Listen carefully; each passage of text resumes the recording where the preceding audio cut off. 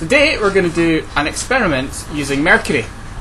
And mercury, you might be familiar with, it's a liquid metal at room temperature, the only liquid metal in the periodic table in fact, and you can see I've got some in a wee in a wee bottle here, and you can see it's really odd stuff, it kind of shakes around and it's, it's really bizarre.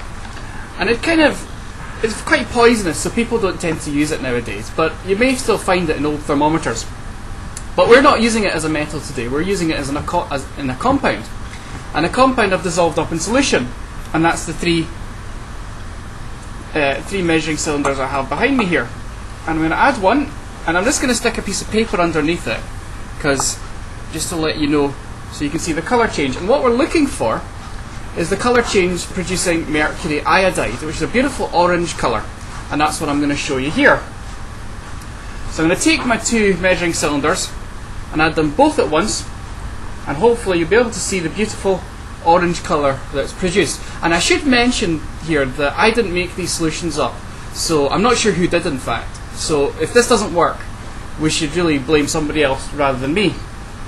Because my experiments often don't work and it's always other people's fault. So if I just add my two solutions here, and uh, you can see, as usual, it hasn't worked. And uh, this is typical. Who made this solution?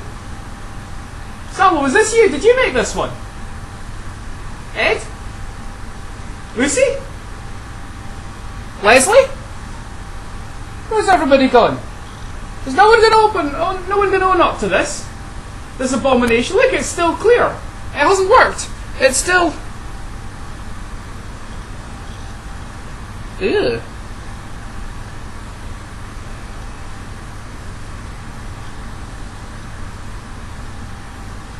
Think I'm cursed.